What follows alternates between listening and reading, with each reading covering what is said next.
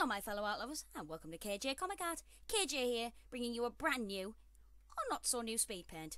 By that, I mean that this image was the subject of last week's video, but as I wasn't satisfied with the results, I decided to recreate it in this week's video as a speed paint rather than a supply review. I still did some experimentation with different supplies, but I didn't stray too far from the ones I understood well.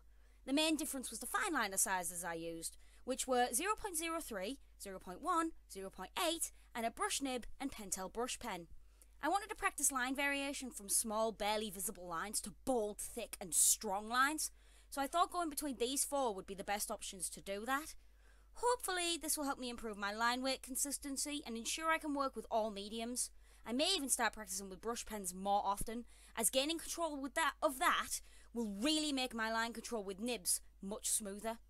Now, veering away from the topic of drawing, I want to say that I graduated yesterday, or as this video was recorded on Tuesday, I graduated Monday the 15th.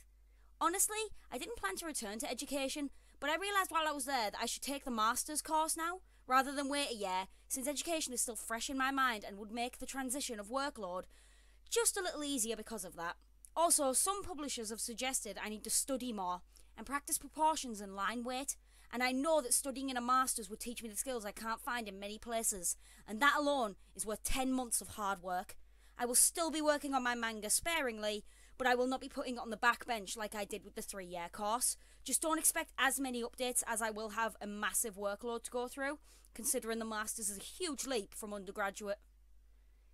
Anyway, I think that's enough talking out of me. I hope you guys enjoy the drawing, and I'll see you next week for another video.